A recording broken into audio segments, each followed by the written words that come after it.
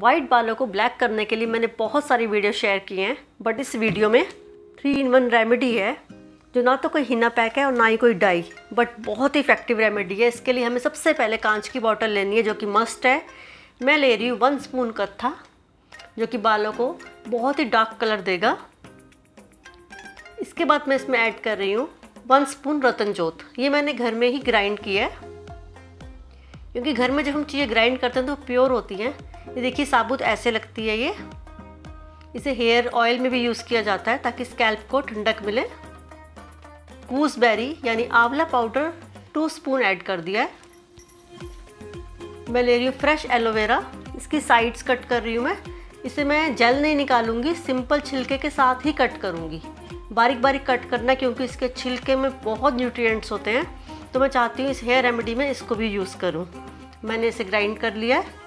Grind करने के बाद मैं इसे छान रही हूँ क्योंकि मैंने इसको छिलकों के साथ ही किया था ना तो इसलिए छानना मस्ट है। इसे अच्छे से दबाते हुए स्क्वीज़ कर, करते हुए इसका जूस एक्स्ट्रा निकाल लें मिक्स कर लें इसको। और जितने भी अपने पाउडर्स रखे थे अपनी बॉटल में, उसकी तीन गुना हमें ये जूस ऐड करना है। इस जूस को ऐड करके अच्छे से मिक्स कर लें। ताकि सब कुछ इन्फ्यूज़ हो जाए आपस में। इस टॉनिक को हमें धूप में रखना है। इसे धूप में रखना है सात दिनों के लिए, लेकिन रखने से पहले इसके ऊपर ढक्कन नहीं लगाना, इसे कॉटन के कपड़े से कवर करना है। कॉटन के कपड़े से कवर करने से इसमें धूप की किरणें अंदर जाएँगी, जिससे ये रेमेडी बहुत ही पावरफुल बनेगी। कॉटन कपड़ा नहीं है तो आप ऐसा बैग भी ले सकते हैं। इसे कपड़े से कवर करके मैं इसके ऊपर रबड़ लगा के इसको धूप में रख रही हूँ सेवन डेज़ के लिए। रोज़ सुबह इसको बाहर रखना है धूप के अंदर और रोज़ इवनिंग में इसको अंदर रख लेना है। ऐसा आपको सेवन डेज़ तक करना है। सेवन डेज़ के बाद एक बहुत ही पावरफुल रेमेडी बन के तैयार हो जाएगी।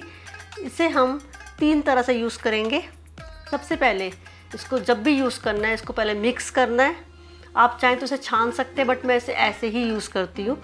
जो इसका फ़र्स्ट तरीका है, वो है वो है एज अ हेयर टोनर सिर्फ़ इसे स्कैल्प पे ही लगाना है। जितना आपको रिक्वायर्ड हो, उतना ले लें। और फिंगर टिप्स या कॉटन की हेल्प से बालों बालों में अच्छे से मसाज करें। चाहे तो इसे दो तीन घंटे बाद वॉश कर लें, या आप ओवरनाइट भी छोड़ सकते हैं। इसके डे बाय डे बहुत ही अच्छे रिज़ल्ट मिलेंगे। पहले तो ये जो बाल तेज़ी से वाइट हो रहे हैं ना, उनको रोकेगा। फिर धीरे धीरे ये हेयर को ब्लैक करना शुरू करेगा। जो इसका सेकंड मेथड है, वो है एज अ शैम्पू बेस सबसे पहले जितना आप शैम्पू लेते हैं अपने हेयर के लिए, उतना ले लें। उसमें टू स्पून टॉनिक के ऐड कर दें और इसे अच्छे से मिक्स कर लें और जब भी आपको शैम्पू करना है, इसे यूज़ करें। बहुत ही इफ़ेक्टिव रेमेडी है, बहुत ही अच्छे आपके बाल हो जाएँगे इससे। जो थर्ड तरीका है, वो है हेयर ऑयल जब जब भी और आप ऑयल लगाते हैं, इसमें आप टू स्पून इस टॉनिक के डाल दें। धीरे धीरे जैसे जैसे आप ऑयल लगाते चले जाएँगे, आपके बाल जो हैं ब्लैक होते चले जाएँगे। ऑयल और पानी कभी मिक्स नहीं होते, इसलिए इसे अच्छे से मिक्स करना ज़रूरी है। पहले मिक्स कर लें और फिर बालों की स्कैल्प में और फिर पूरे बालों में लगाना है। लगाने से पहले इसको थोड़ा सा गर्म भी कर लें। फिंगर्स पे मसाज करते हुए, लेते हुए बालों पे लगाएँ।